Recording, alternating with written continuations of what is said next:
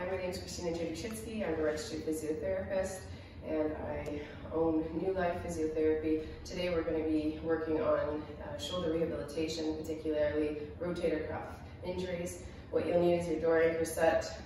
You're going to place it at mid pulley height, so you're going to place it just above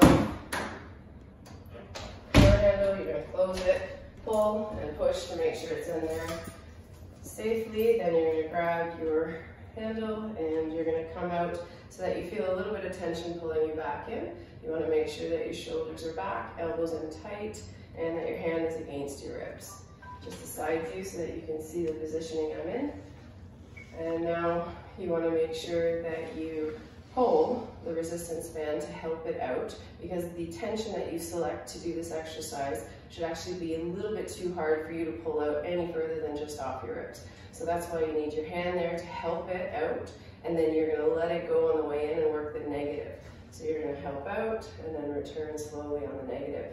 You're gonna do about 20 of these, always, always controlling the return, making sure that you don't chicken wing your elbow off your body and making sure that the wrist is curled in, not extending back.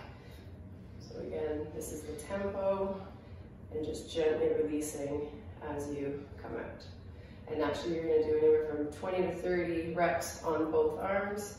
Even if this one's not injured, you wanna make sure you prevent injury, rehabilitate, and then repeat three sets.